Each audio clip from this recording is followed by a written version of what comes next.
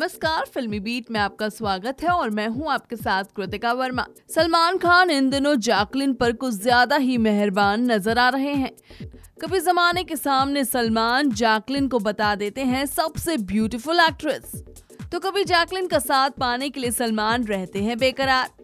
और अब ये क्या, रेस थ्री का प्रमोशन सलमान सोशल मीडिया पर भी कर रहे हैं। और इसी सिलसिले में सलमान ने जैकलिन की एक खूबसूरत फ़ोटो को इंस्टाग्राम पर भी शेयर किया।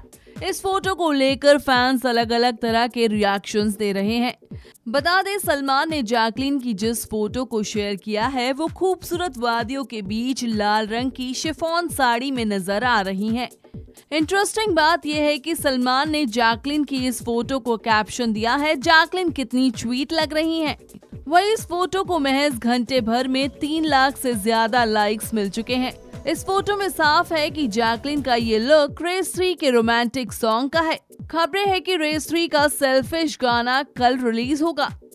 और इस गाने में सलमान के साथ जैकलिन रोमांस करती नज़र आएँगी। लेकिन मज़ेदार बात यह है कि सलमान ने इस फ़ोटो को जो कैप्शन दिया है, उसके बाद यूज़र्स उन्हें तरह तरह के कमेंट कर रहे हैं।